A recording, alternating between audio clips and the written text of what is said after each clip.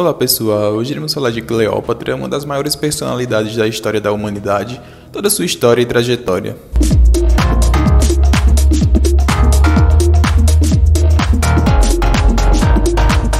Cleópatra VII Filopator nasceu em 69 a.C. em Alexandria, no reino ptolemaico.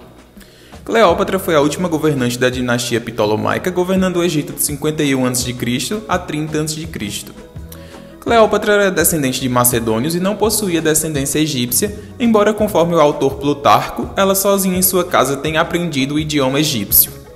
Quando seu pai Ptolomeu XII faleceu em 51 a.C., ele deixou o trono para Cleópatra, que na época tinha 18 anos, e seu irmão Ptolomeu XIII, que tinha 10 anos. A turbulência política esteve presente após esse período, e logo depois que os irmãos assumiram o poder surgiram complicações entre eles.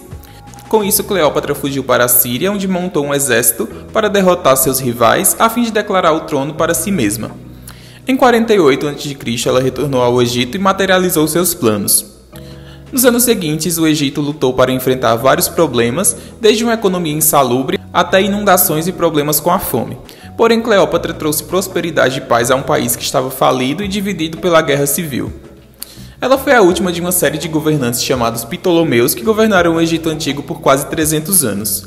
Cleópatra governou um império que incluía Egito, Chipre, parte da atual Líbia e até outros territórios do Oriente Médio.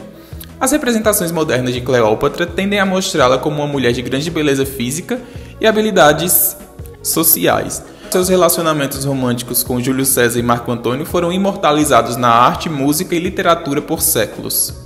Inclusive, em 41 a.C., Marco Antônio, na época em disputa com o filho adotivo de César, Otaviano, pela sucessão à liderança romana, iniciou uma aliança política e romântica com Cleópatra.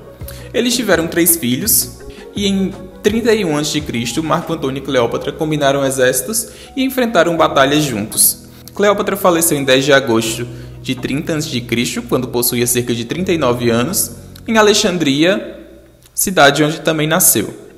O Egito então se tornou uma província do Império Romano.